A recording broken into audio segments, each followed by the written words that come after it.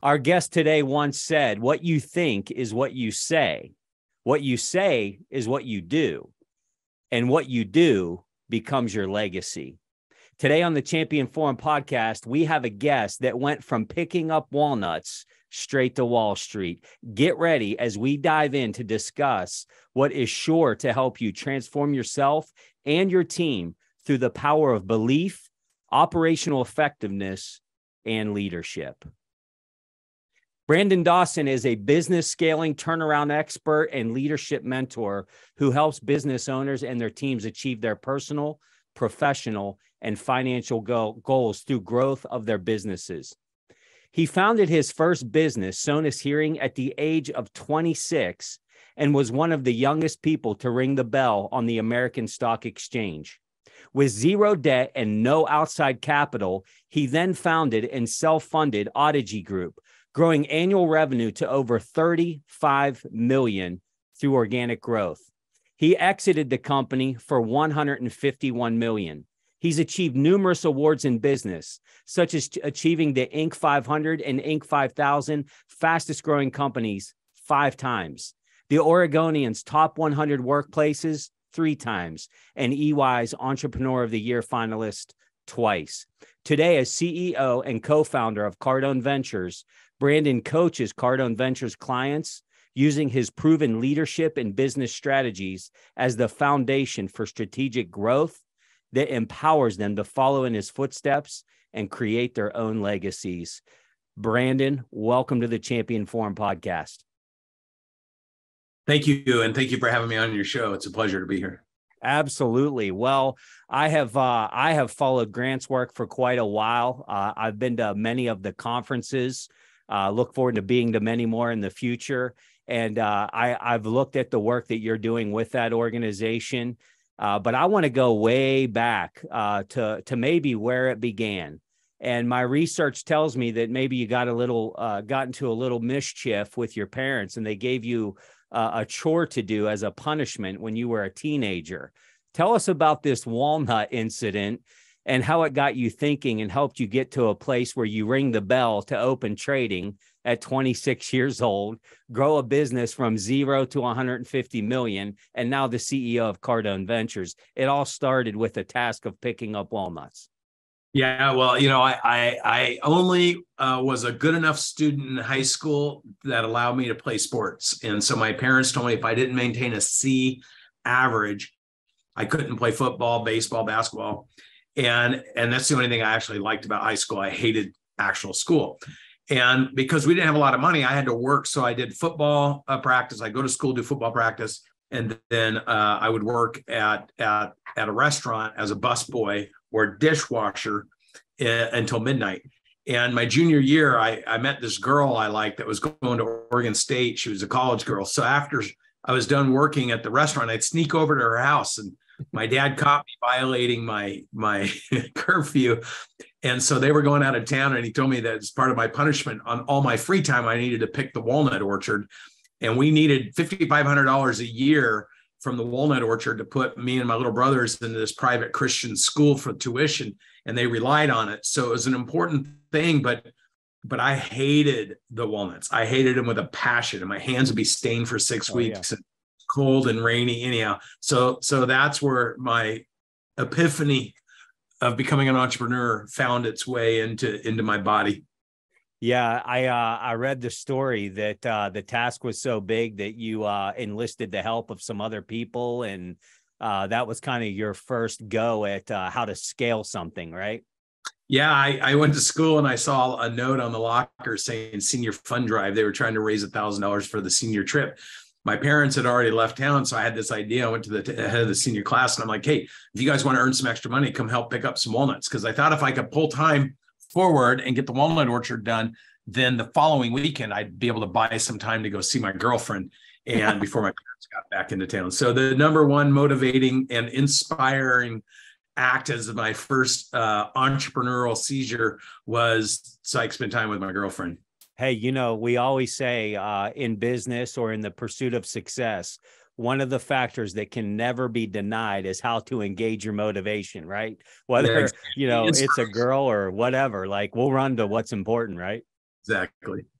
So uh, looking at at your body of work, Brandon, it is it is amazing. Uh, you know, to go from that, you know, humble beginning and doing your part to help put yourself through school at a young age to what you've accomplished is no small feat. And uh, you've dedicated your life literally to helping others learn those principles and take people with you. And in in the the the Champion Forum podcast is dedicated to entrepreneurs. It's dedicated to leaders, leaders that aspire uh, to become leaders, as well as the top executives in the world. And one of the biggest challenges in any business is scaling. And uh, as you know, scaling a business, it's going to require sound leadership. It's going to require management systems, whether it's financial management, teamwork, motivation, learning. Uh, a business is only ever going to be as efficient as the systems that it has and the systems we implement. You've learned things the hard way. Uh, you were forced to sell your company at one point by investors. What are the common scaling mistakes that you see? And how can uh, the entrepreneur, the leader that's listening, how can we avoid them? Because you've touched the stove a few times. What are you seeing, Brandon? And what's your advice to these folks that are scaling and all the things that come with it? Yeah, great question. so 31 and a half million businesses in the United States that are under $100 million of size. There's 31 and a half million, 97.8% will fail within the first 10, 10 years. Two thirds will fail in the first five years. The average median income of the average entrepreneur is under $78,000. And of the 31 and a half million small to mid-sized businesses, 25 million have a single employee, which is the founder and and so really really the the the, the issue here is is that you've got six million businesses that are that are trying to to thrive uh, and in a lot of cases just survive. And so the the mistakes one of the things i wanted to understand and i experienced um, these mistakes by buying 120 businesses in 36 months and taking them public and trying to manage all the aspects of buying and integrating cultures and operationalizing and systematizing and hiring executives and hoping that they're going to do their part and work together as a team. I just learned it doesn't really work that way. Um, and and and and there's an old saying my brother used to say, "There's the way." There's the way you'd like it to be there's the way it could be there's the way it even maybe should be but we live in a world that is the way it is. And so what i decided is instead of be a victim of those circumstances when my private equity group did a forced sale um, in 2002 with my first company right when we were getting ready to take off but they had a chance to get all their money back plus all their internal returns before any investors or other shareholders including myself made any money and they took that they took that Mm-hmm. So I decided I was going to re-engineer how businesses are built uh, because the three reasons businesses fail, reported by all these entrepreneurs that fail, is first, no demand for product or service. Second, can't find good people, and third, can't get access to f- financing or funding. Mm-hmm. And I decided I was going to reinvent how businesses are built. And I could, if I could figure that out for myself by self-funding it, not giving any control away, then I could teach other business owners how to do the same. And that's where I pivoted my attention in 2004 when I started my last company. Yeah, and uh, you know, no, and that's critical. And those statistics are really staggering. Uh, but just like every good business is, we're looking to solve problems, and and literally that's what you're doing, and that's what Cardone Ventures is doing is solving some of the problems around the statistics that you just mentioned, which is amazing because uh, here I am on the on the same journey as a solopreneur after 24 years uh, carrying the bag in the corporate setting and so forth. And there's a lot to learn through that. Uh, but I mean, you didn't just fall on top of the mountain. Uh, there were times that you also were carrying the bag. You've had amazing sales experiences. I've heard your stories about going, uh, you know, throughout the southeast and of the United States, and you know, going from door to door, literally uh, in medical device. Talk to us about that journey. I mean, you didn't just show up where you are now. Uh, you were in this company. Uh, your wife's pregnant with your first child, and you said, "Hey, um, enough's enough. Like, I got to make a leap. I got to do something different." How do you ride that tension uh, of yeah, getting well, from that to where you are?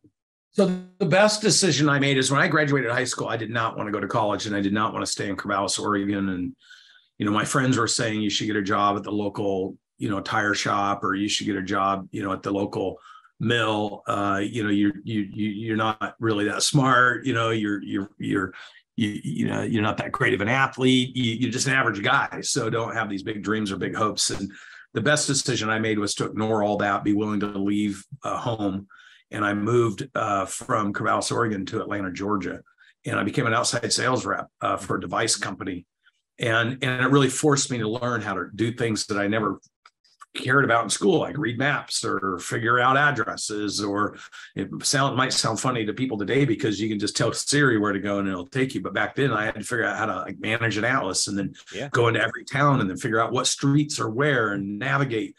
And and and then I had to go call in doctors and try to sell hearing aids and take money and transact the business and fill out expense reports and things that at 19 and 20 years old you just you, you know you're usually go into college being told what to do.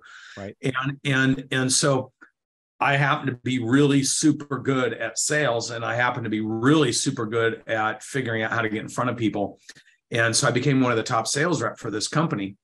And and i moved to minneapolis as an assistant sales manager. Now I got fired from my boss in Atlanta and spent six months figuring out how to live on my own. And then they rehired me back because there was some circumstances that were out of my control.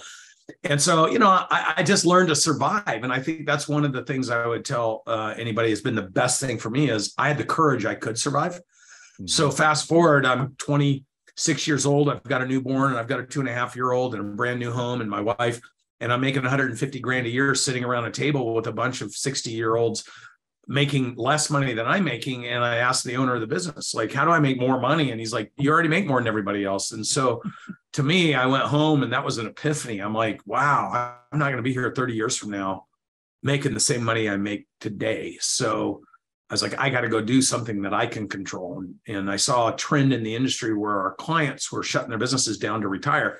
So I thought, why not try to buy some of those businesses and keep running them. And that's that's the transition. December 15th, 1995, I resigned my position, moved, sold everything I had, moved my wife and two little babies to back to Oregon. And I started talking to business owners. Hey, instead of closing your business down, why don't you sell to me? And found my first one to say yes four months into the process and parlayed that into a public company. There we have it. Just like that. I mean, hey, listener, just do those things. You're, you're going to be amazing, right? But there's a journey that comes with that. There's pain there's risk there's there's all of that. And many of the people listening they're they're riding that tension right now. Uh, and there's probably people listening that are contemplating making the same leap that you made.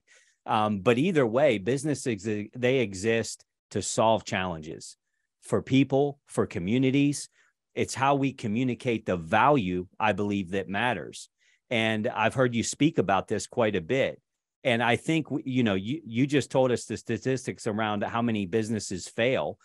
I have found in my own consulting business and helping small businesses grow that it's rarely the product that's the problem. It's rarely the service that's the problem. They're pretty good at this stuff, which is why they decided to do a business anyway. But the, uh, we we find a, a, a challenge to solve. Uh, we find a community to serve, but then we lack how we communicate the value, and I think that's what really matters. Brandon, how do we best communicate the value of our business to influence others to make the buying decisions, which are things that you said you have a knack for and you're pretty good at getting in front of people and you're pretty good at sales? What are those things? And how do we communicate the value of our business so that the world knows and we don't become the best kept secret? Yeah, this is in reflection. You know, uh, Steve Jobs did a talk on connecting the dots. You know, this is in reflection th- this is where looking backwards you realize some of the different things that you experience and what you learn from it if you're paying attention and, and that's where these darn walnuts come back into play because i i I thought if I could free a few days up to spend time with my girlfriend. So I approached the senior class. They had notes on the locker saying they wanted to do a fund drive to raise a thousand dollars for the senior trip. And so I went to them and said, Hey, if some of the guys want to come out or gals want to come out and help me pick up walnuts, I'll donate some money to the senior class. And so that next morning i thought a few people would show up but it ended up being a caravan. And and we we we picked that walnut orchard clean just precisely clean within three days because all the family members were there. Now i hated these walnuts it made my hands orange. It was an embarrassment every year. People would make fun of me. But i noticed something when people were out because i didn't touch the walnuts. I had so many people out there doing it. I was driving the tractor around and having them throw the husks in the back taking them to the burn pile dropping them off coming and picking up the walnuts taking them over to the dryers and and I never physically had to do anything.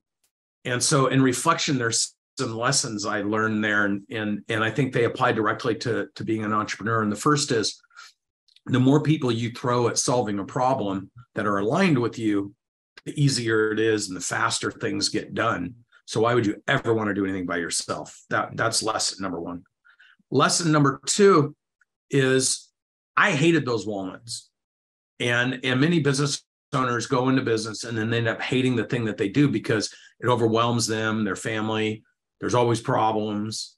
Um, and and when owners start their business they start it by talking about the what they do so i'm a plumber or i'm an electrician or i'm an insurance or i'm a doctor and uh, you know i'm a chiropractor or i'm a dentist and they talk about what they do what they do what they do another second very important lesson i learned with these walnuts is as much as i hated the walnuts all these people were enjoying and having fun picking these walnuts up and the reason they were is because the family members weren't there because of the walnuts. They were there to show their kids that they loved them. Yeah.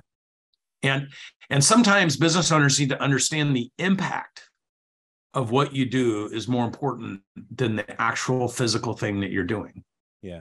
So you sit and promote what you do, what you do, your product, your service, your product or service, and you get objections. But I would say that you should tailor your conversation to the impact of what you do and the benefit for the people you do it for. Yeah. And and and that's why business owners get trapped. And then the third lesson I learned out of the walnuts, and Grant Cardone says prices are made up. And it's true. See, I didn't know how to run a calculator. I didn't know how to calculate. I was horrible in math. So I just made a price up. And those parents paid that price. And my parents every year needed $5,500 from those walnuts to pay for our private school. And that year I raised $8,500 because I made up a price. The parents paid it. Mm-hmm. And and the and the third lesson is price is only an issue in the absence of value. The value wasn't the walnuts. The value was the parents showing their kids they were supporting them. Yeah. So learn to market your business to the benefit of what your business can create for somebody else and not get distracted or bogged down in what you do. And so, three lessons price is an issue in the absence of value. So, create massive value in your price proposition. Prices are made up. So make up the prices that will best support your value proposition. The more people you throw at things, the faster they get done. And and you know that that that those were lessons later in time. I was like always remembering why am I doing this alone? Why am I doing this alone? If I had more people, it'd go faster. Yeah. And so I learned those lessons early on, thank God, and I just kept applying them throughout my life.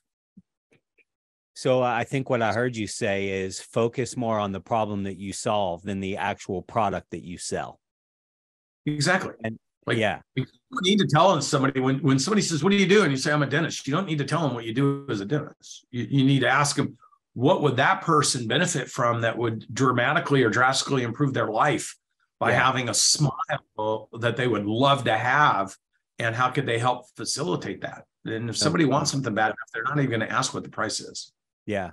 Yeah. Uh, the last thing we ever want to do is to get into price wars and, you know, low cost provider. But unfortunately, a lot of small businesses go that way. And especially startups, I believe, Brandon, because they have the fear of losing.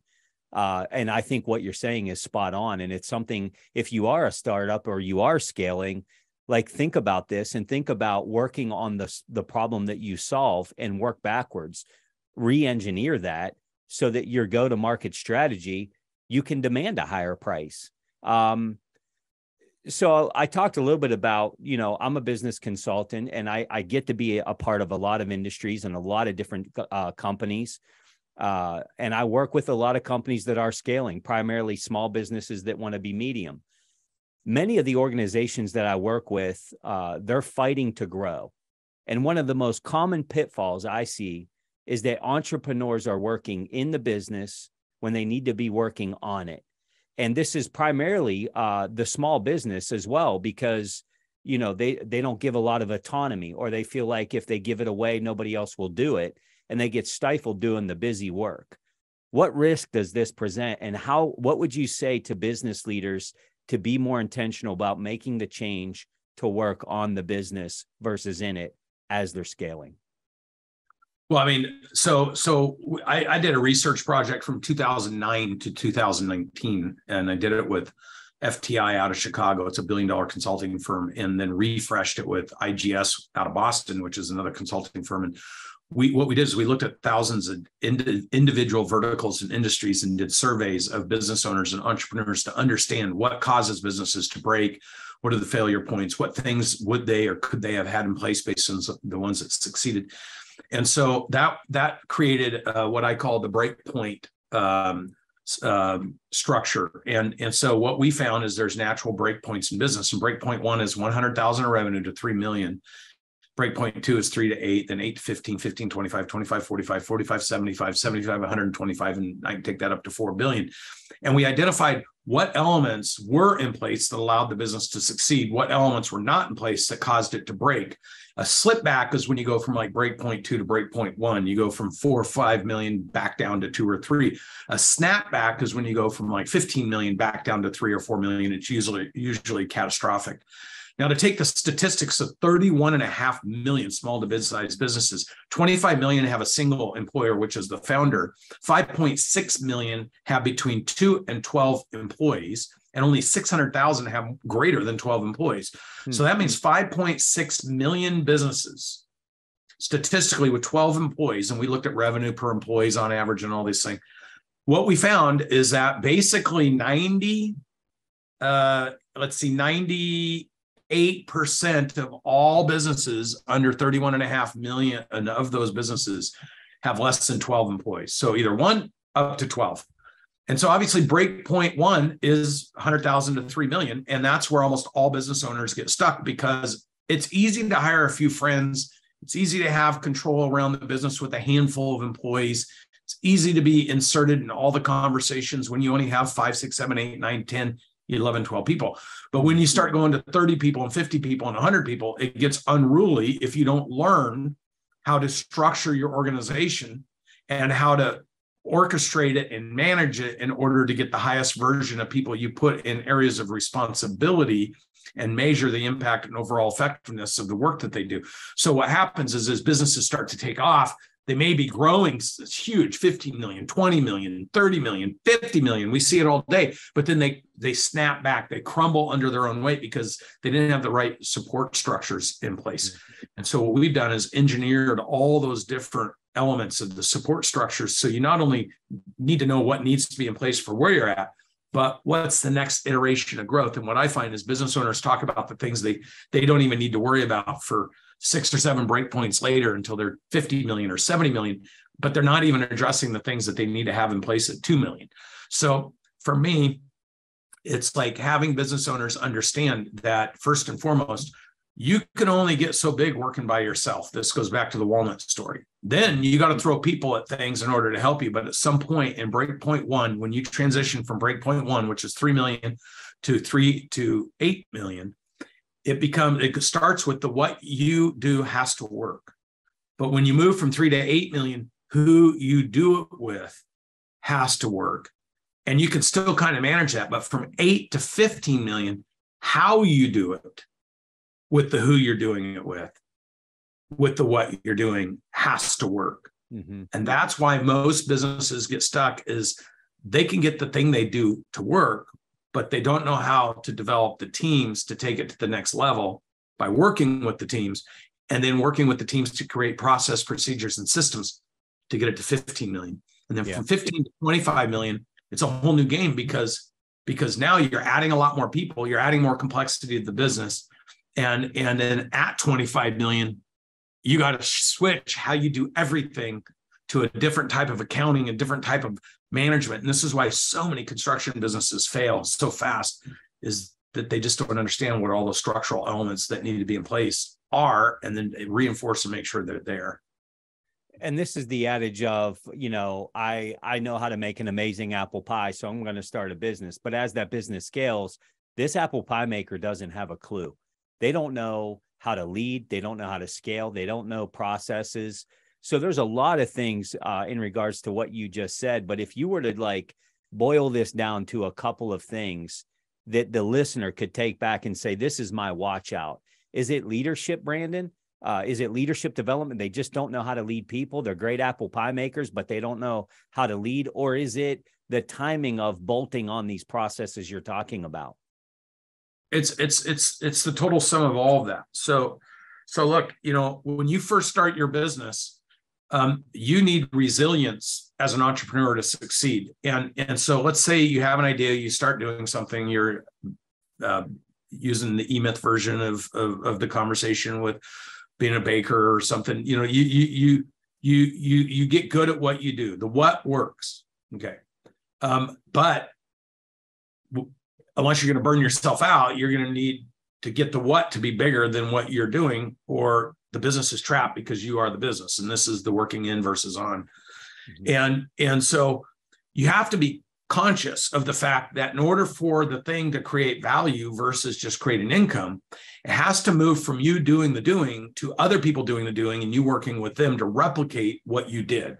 Mm-hmm. And, and that's moving from me leadership because it's already hard enough to start a business, get it working, get it going, promote it, actually do all the labor, do all the work, and then hire your first person, hire your second person. That's already hard enough. That takes resilience. But then to pull yourself intentionally out of being the one doing any of the doing and working and developing people in each category of the doing, so you create a system around it, that isn't the competency that allowed the person to become an entrepreneur. So having the resilience in me we leadership to get it started, but then having the resilience to pivot to we leadership. So from yeah. me to we um, is difficult. And then you have one more technical move you have to make at 15 to 25 million. You have to go from me leadership to we leadership. Then you have to go to us leadership because now you're inter reliant at 15 million. There has to be three leaders in the business. You need the you need the the the leader, you need the the manager, and you need the person that's the builder. And those are three different people. And you can get away with being all three of those people up until breakpoint two and breakpoint three, but eventually it overwhelms the system and the weaknesses in the system. And John Maxwell talks about law of chain, and that's what he's talking about. You're only as good as the strength of every link in your chain. And so when you take what Gerber talks about in E-Myth, which is you do it and do it and do it and do it, and then you create a little process, and then you teach other people, and then you quality control what they're doing until you can create a system where you're not there at all. Yeah. And and that's the thesis of E-Myth. 40 years, it's still been true. But now you have to evolve. And to evolve, you got to understand good, great, great by choice, how the mighty fall. I might see a few of those back there, where mm-hmm. where you got to understand why big corporations crumble and fall. It's because complacency in the leadership lines people are protecting their positions versus being chartered with building out new leaders in their organizations.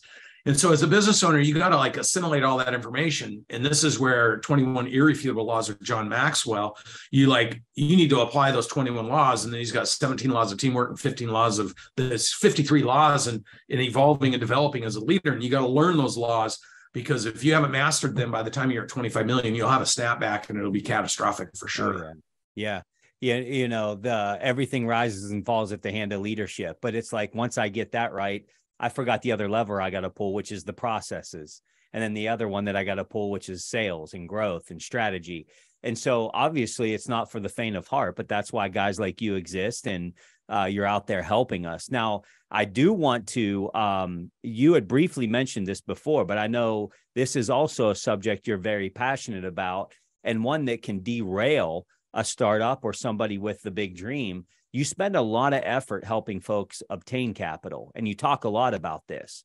And you referenced it uh, without referencing it earlier about your first company. And I know the story about you talking to the guy and then he writes the check for a million bucks. This is clearly an area that, if done wrong, can be at best cripple a dream and at worst stop it from ever happening. I've heard you talk about this strategy through the four P's and the four M's talk to us a little bit about that and maybe some of your personal journey in gaining this capital without you know taking out loans and all this other stuff. Yeah so my first company was all private equity backed. I raised my first million and then i raised six million and then i raised 18 million and i raised 10 million. And then you know but when you're raising money with third parties or other people you're now beholden to the not only your dream but listening to them. And when they have control of your company now you're at their their decision and discretion as to what to do with the company. And and so the the P's are promote. Uh, you got to promote. There's seven promotes, and you got to learn how to be the the number one promoter in your business. And then it goes from promote. You got you you you got to know how to make money. So you, so you got to learn how to make a profit because my belief is if you do if you build your businesses correctly, you don't need other people's money. And that was what I wanted to prove with my second company is that I can build something without using anybody else's money, um, other than people that I can serve and then I'll make them my partners because now now we're we're collectively bound by a core mission to work together, and that's what I did. And when that business sold, one of the pride, proudest moments of my life is I wired out forty five million dollars of the sales price to my customers. I was the first guy that equitized.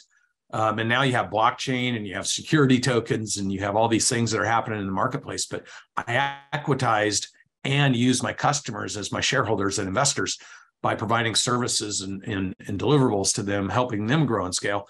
And we won together. And that's really what I wanted to do. And every employee that worked for me, I paid out $15 million to every one of my employees at the sale because I wanted my employees to win together. I wanted everyone to feel like we were building this together. Wow. And I believe that's what business owners are missing today is that they think they need to do it all themselves.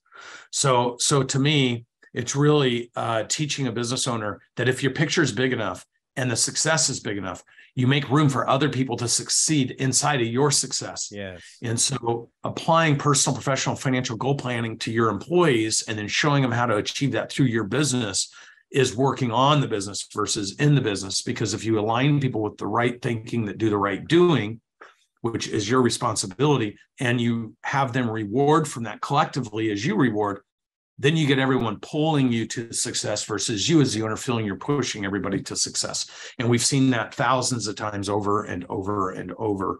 And it's what I love. And it's why I do what I do every day. Uh, you know, I created enough net worth that I don't have to work again.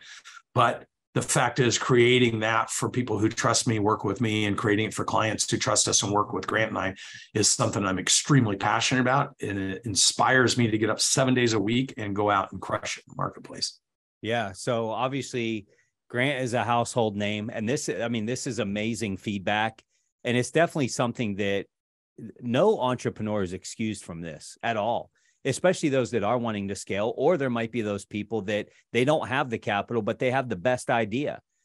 This teaching may be, you may be just this one podcast episode away from diving into Brandon's teaching and getting it from a dream to reality and and obviously Grant is uh he's become a household name. We know him from the the television. He's all over social media. I mean, here you are. You're you're you go from picking walnuts. You're opening the bell. You go from zero to 150 million. You're a serial entrepreneur. How did the connection with you and Grant? How did this happen? Um, and what has that journey been like? Yeah, so so in 2009, I talked about all that research I did, and and and in 2016 sold the business, and then I integrated the business and led the charge to take the company that acquired us from one billion to four and a half billion in 36 months.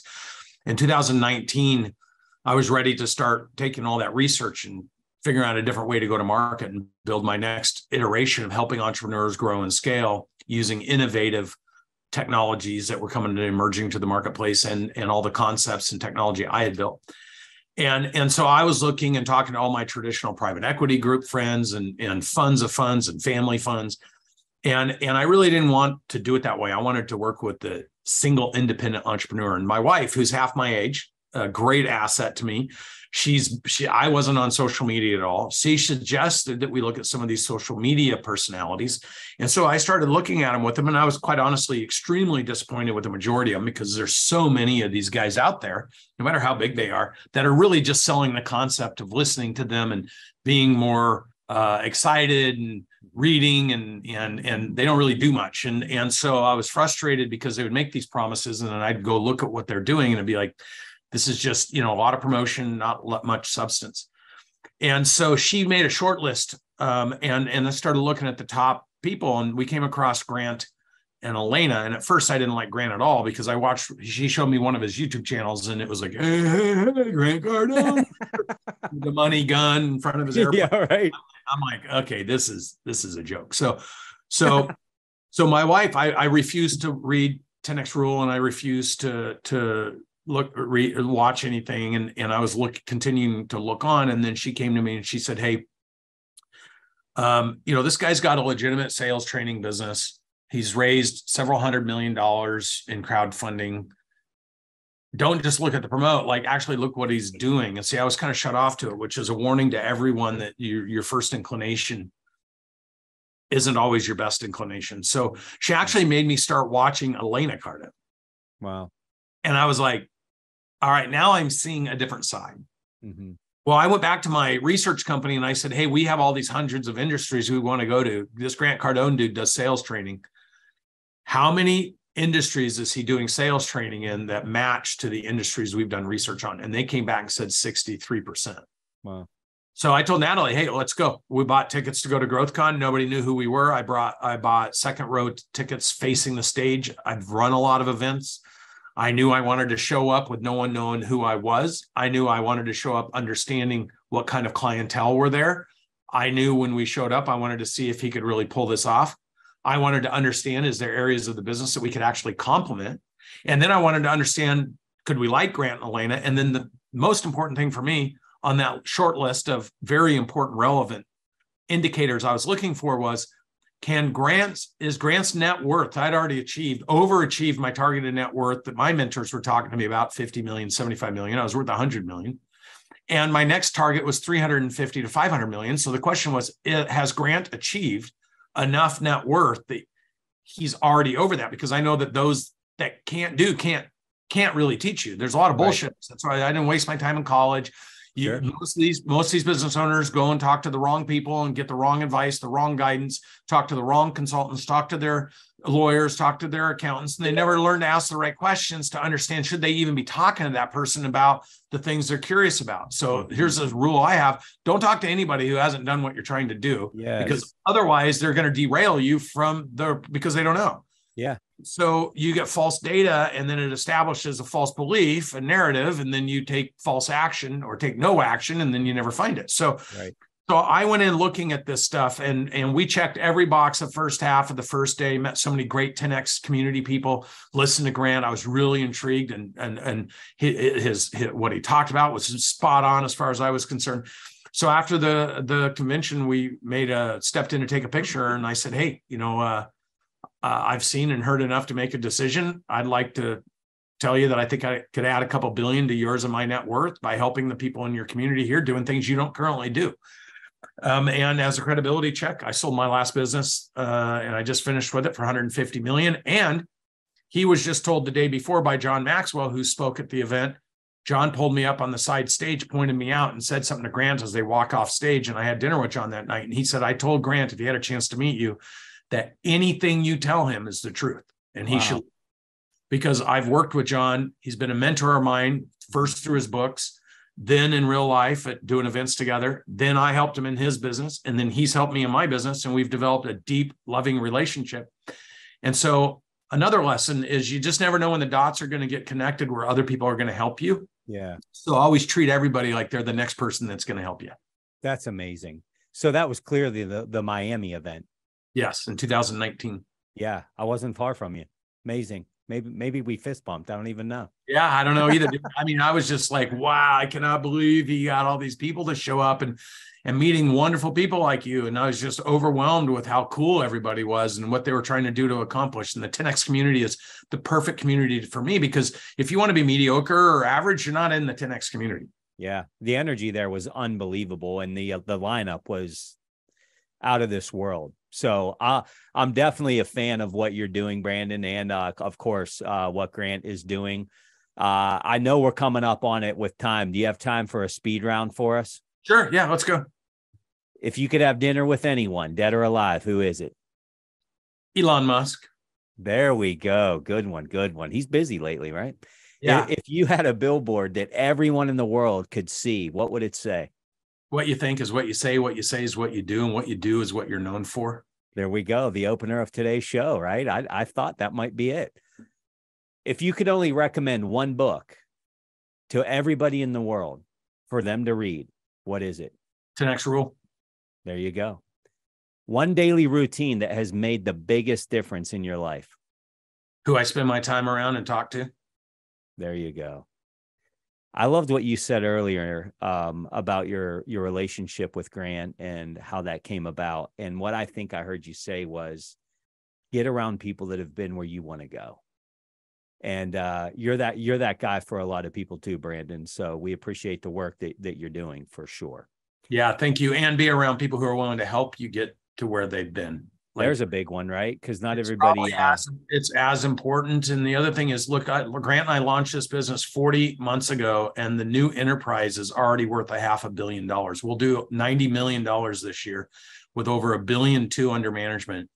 And and and I just will say to you, if you get around the right people who are willing to help you and you're willing to listen, and there's a price to be paid for that. And my price was, I told Grant, I'll give you half the company. I'll put your name on my shirt, swallow all the pride, and and and let's work together sometimes you got to make hard decisions to get where you really want to get to because the people you need the help from aren't going to do it just because you're a nice person or you're begging them to and so what i would tell you is collaboration is a more important currency than any money you'll ever make because who you spend your time around who you get help from and who you can help will accelerate everything in your life so good. So good. This is valuable time and valuable information. Uh, we appreciate you joining. But before I let you go, tell the listeners how do we tap into this? How do they connect with you and the work that you're doing? Yeah, the easiest way I tell people is go to at Brandon M. Dawson on my Instagram because on there we're always promoting what is next. We're promoting what all where we're going. We're promoting who we're doing things with, and it's just it's and it's being updated five, ten times a day. And we're in different cities. Sometimes I'm in six or seven cities. Grant's in six or we have a boot camp here in Scottsdale. First time ever. We'll have 600 people this weekend. So if you if you're on my Instagram, you're going to see that stuff and you're going to be able to say this is for me or that's for me. Or you can go to cardoneventures.com and uh, and and check us out or grantcardone.com. And and uh, but if you want to know where I'm at, what we're doing, and what all's going on, the simplest, easiest way is at Brandon M. Dawson. And we will have all of that listener in the show notes, every social link to Brandon, websites, it'll all be there. Make sure that you don't miss that. Brandon, is there anything I should have asked that I didn't? No, but I will leave everybody with this thought. Uh, the faster you can convert your thinking from how do I help other people to succeed by working with me and make their success your focus, the faster you're going to surround yourself with higher quality, higher ambitious, higher inspired people to do the work with you. And don't get hung up if you're challenged with that right now. Just pivot how you're thinking about people and what your responsibility is to help them succeed.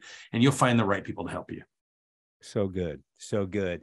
Well, listen, we'll have all the links. Brandon, thanks again. All the socials, websites, show notes.